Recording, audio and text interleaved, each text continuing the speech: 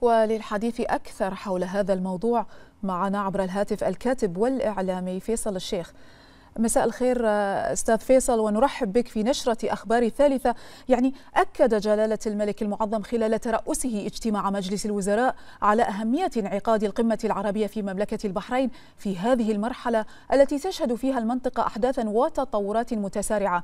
فكيف تقرأ كلمة جلالة الملك خلال الجلسة؟ وكيف تصف دور المملكة في تعزيز العمل العربي المشترك حيال مختلف القضايا والتحديات؟ آه، اولا مساء الخير آه، طبعا آه، أنظار العالم العربي بأسره وحتى المجتمع الدولي تتركز اليوم على مملكة البحرين وهي تستضيف القمة العربية تحديدا لأن الوقت الراهن الذي تمر فيه أمتنا العربية تواجهها تحديات عديدة سواء على الصعيد السياسي والأمني وحتى الاقتصادي.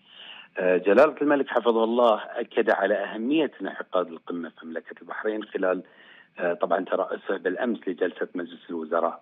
آه، وتطلعنا اليوم لما ستتضمنه الكلمة آه، الافتتاحية لجلالته حينما يرأس القمة في دورتها الحالية وكيف ستقود البحرين العمل العربي المشترك لتحقيق ما فيه خير وصالح الشعوب العربية، طبعا جلالة الملك اكد على موقف مواقف البحرين الثابتة من قضايانا العربية المصيرية على رأسها طبعا القضية الفلسطينية والتي ستأخذ بالتأكيد حيزا كبيرا بل ستكون أحد أبرز المحاور الأساسية للقمة. طبعا جلالة شدد على ذلك آه، بالأمس آه، وأكد بأن تطورات الأحداث في قطاع غزة تؤكد الحاجة الملحة إلى جهود دبلوماسية مكثفة من أجل السلام وإقامة الدولة الفلسطينية إضافة إلى أحقية دولة فلسطين الشقيقة بالحصول على العضوية الكاملة في الأمم المتحدة. وذلك طبعا وفق قرار الجمعية العامة مؤخرا للأمم المتحدة وبأغلبية تصويت من قبل 143 دولة. آه، طبعا أكد جلالة الملك أن قمة البحرين ستتضمن العديد من المناقشات لأمور هامة.